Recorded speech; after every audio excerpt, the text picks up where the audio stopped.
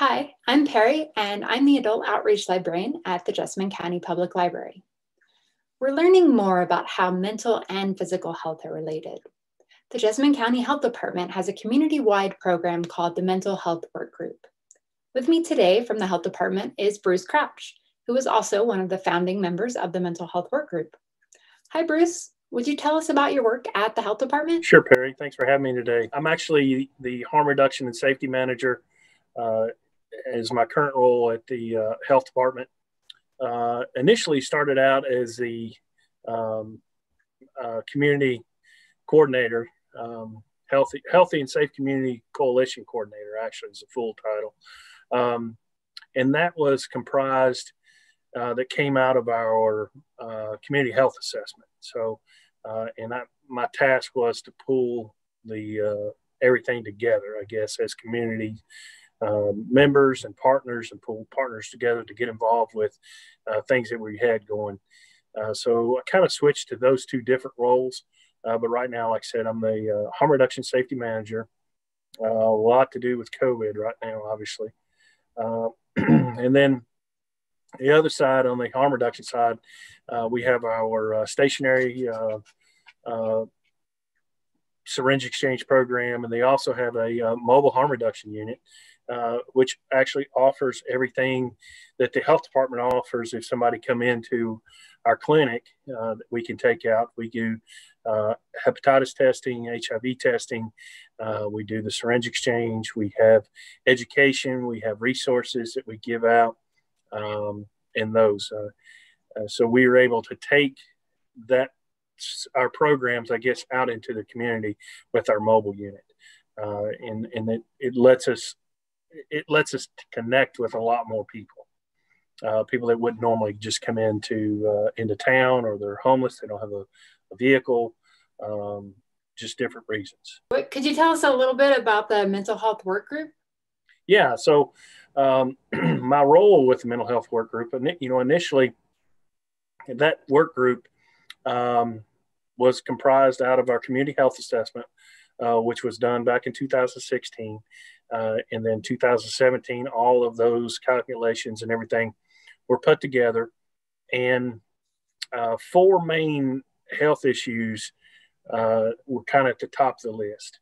One of those is being mental health, the other is substance abuse, the other is safety, and the other is chronic disease. So substance abuse was was one that we had a lot, and we have a lot of community members that are involved with that. Um, but you know what we found was is, you know, with substance abuse comes mental health issues as well, uh, and you know we found that uh, you know like our adverse childhood experiences, how that affects mental health and those things, and um, but you know, going back to the the uh, mental health work group. So that group, you know, it was formed with a goal to inform and educate and empower people about mental health and the issues thereof. Uh, and like I said, you know, ACEs is being one of those. You know, with our kids, uh, we really think you know starting to focus with our kids' mental state, and especially now with COVID and how how that has affected our children you know with being isolated at home and doing the virtual learning you know some kids it's it's really affecting and we you know we need to concentrate on that I, am involved um, with the work group on behalf of the library. Um, what other community part- partnerships are involved with the work group? Um, you know, everything. Our mental health providers, New Vista, uh, is is a big partnership. Uh, the school district, uh, we have several members from different uh, areas in the school district uh, that participate and are active with the, the work group. Uh, the police department, uh, we have them. We have uh, the sheriff's offices involved. Um, Bluegrass Community Action, uh, Homeless Coalition. Uh, we have faith-based organizations like Grace to Glory that we have involved. We we have some other faith-based. They they kind of put input, you know, with us. YMCA uh, is also, of course, you know, they're big in, you know, the YMCA is about our youth uh, for us in Jessamine County. Um, uh, the detention center, the detention center plays a big part. You know, a lot of people think that those guys are just there to, to house inmates and that, and, and that's not, you know, they're, they are open to education. They're open to, uh, to inform, you know, and to, you know, slow down recidivism and, and those things. And what are those gaps that we can fill? Uh, so their input and what they're seeing is come, people coming and going, and, and those individuals is key. Um, but you know, there's there's others uh, that are out there, uh, and I'm, I know I'm forgetting some of those, but those are are some of the main ones that we have. Okay, so what are some of the work groups initiatives in the community? Well, so you know, we just uh, for the month of December, uh, our biggest one was uh, we did uh, you know thinking of our kids, uh, and that was uh, we had the yard signs that we come up with that we had made for light up Jessamine with hope.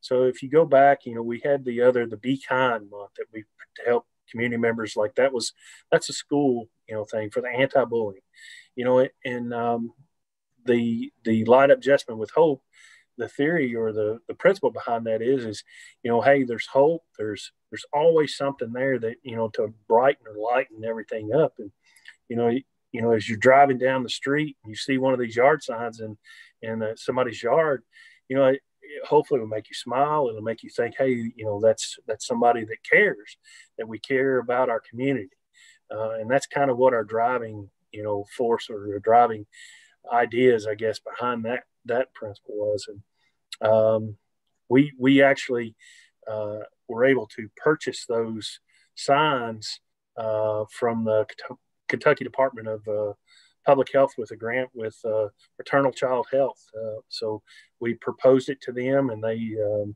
they actually gave us the funding to do that. So it actually didn't cost any of our community members anything to actually even participate in that program. So we were excited about that. Um, you know, some other initiatives we had, I guess, uh, another big one is our mental health first aid training. We offered that out to the community.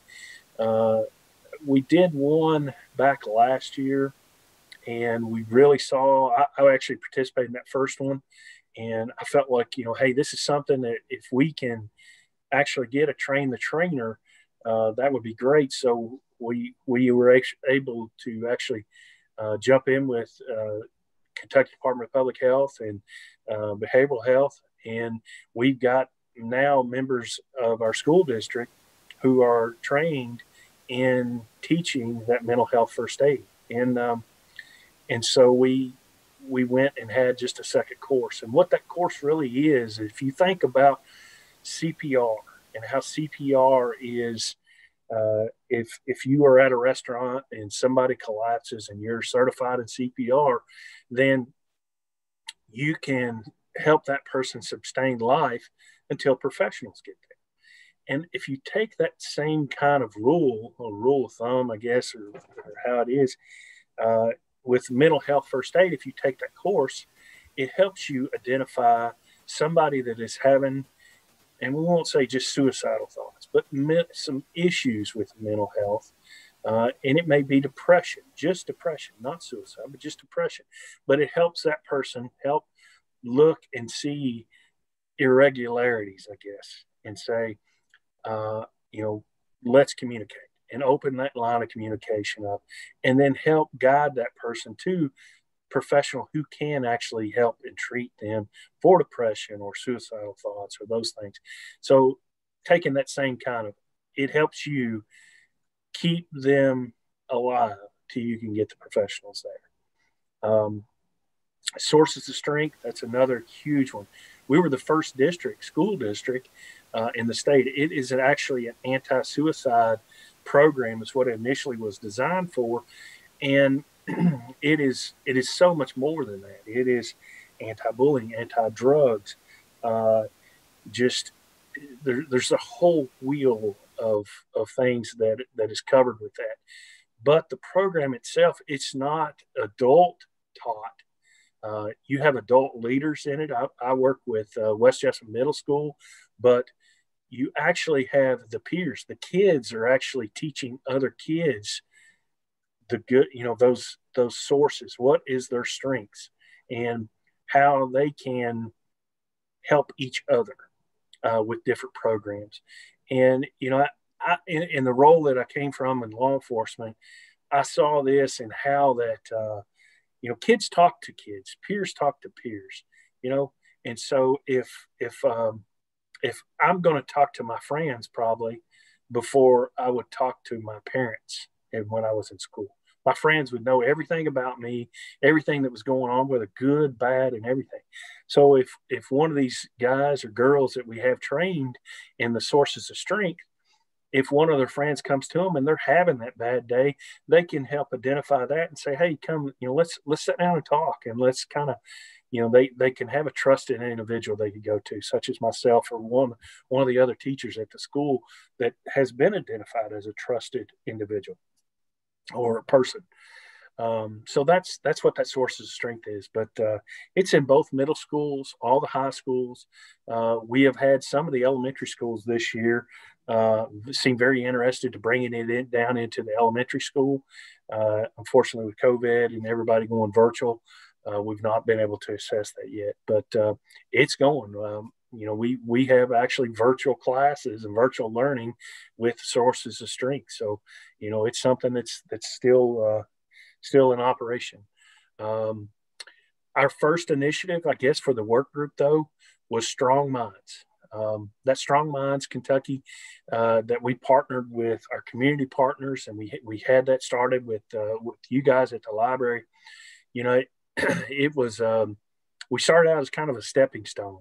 You know, if you think about mental health, you know, and how depression and suicidal thoughts and um, substance abuse, and then just finalizing it with how can we keep our minds healthy, you know, we we had it as that same thing. We, we want to look at each work group or this work group. Like I said, you know, the goal is to you know kind of empower, educate, um, and inform uh, and, and kind of take away some of that stigmatism of mental health when you say that and, and take that away of because somebody is being depressed that they be labeled he's depressed so he's he's not a it's he we can't use this person when that's not true. And so we try and help take that away. But you know we want to educate and we want to have resources. And that was the big thing we think out of that Strong Minds group. We wanted an education piece. So we would educate the public that we had with those open forums. And then we also had a resource side.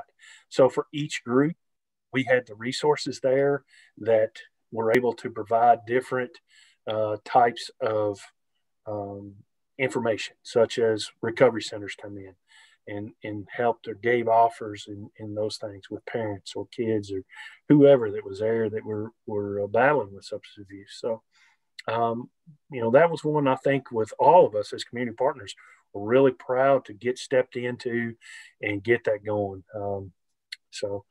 Uh, those are those are probably we have some other small initiatives that we've kind of tuck along each month.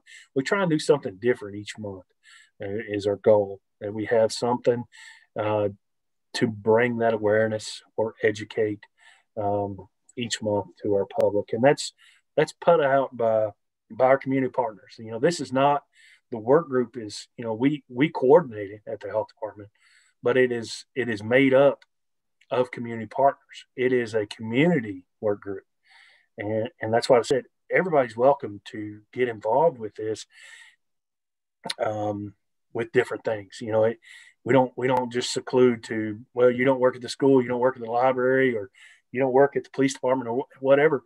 Um, you know we have community members involved with this as well uh, because that's that's the people that it affects. That's the people that we want to get insight or, or what are ideas that we can use to help our community. And if you are involved it's meaningful to you. So I think the inclusivity of the mental health work group is one of the things that really drew me into it. Um, so, for those people watching, um, how does one connect with the work group? How does one get involved with them? Um, you can reach out to us at the at the health department. John Vorback is actually coordinating uh, the work group now, uh, and so he's our deputy director. Uh, but you know, just basically we just need an email. Uh, you may not be able to come or get involved right now. We're doing all virtual meetings with with our work group, but you know, if we have your email, we can send you what's going on each month, so you know, hey, this month the guys and girls, you know, the group is, uh, for instance, last month, you know, it took us it took us uh, several meetings to come up with those printed signs that we did, and everybody kind of agreed with that and how how we were going to do it and and everything. But if you're involved with that, you know it, it's the same thing getting input. But if you just send us um, uh, an email and say, "Hey, I want to get involved with the uh, mental health work, work group," it's as easy as adding you into the list serve, and then um, that's that's it. So, Bruce, um, why do you think mental health is important, uh, especially maybe right now uh, during COVID 19 in Jessamine County mental health, I would say? Well, you know, Perry, uh, unless you were considered a essential worker, and you guys even had to close down the library, uh, and there's a lot of people that had to stay home and were asked to stay home and self quarantine and not get out and move around so that we could stop that spread. Uh, you know, so that we've got these restrictions going on, and what you know, people you and they call it cabin fever. And when you get that cabin fever, you know, you get several things that happen, and it starts affecting you mentally. Uh, and, and um, several things that we've seen come out of this is mental states change. Uh, you have domestic violence that comes out of this. You have substance abuse issues, alcoholism, um, you know, not just drugs, but alcoholism. And, and, you know, one thing that has flourished in this is uh, alcohol sales. You, you know, uh, we've seen, you know, news news releases on these things and that, but, you know, the mental health is so important. Uh, you know, one of the things that we did was basically what are those stresses and how to identify those stresses and how you can do certain little things. We we we have an app that we came up with uh, to to use uh, to help you relieve some of those stresses. So uh, everybody's stressed. Everybody's done with COVID. You know, we we we had that conversation yesterday. Uh, everybody's just tired of it. Everybody wants everything to go back to normal. You know. Well, Bruce, is there anything you'd like to add that maybe we didn't discuss about either the um, mental health work group or the health department? No, um, like I said, everybody's invited to uh, to jump on board. It, it's open to the community. You know, this, like I said, the work group was designed uh, through the community. From that was an assessment, uh, and the community said that is a need that we need that we we want is mental health uh, and something that uh, we need to work on.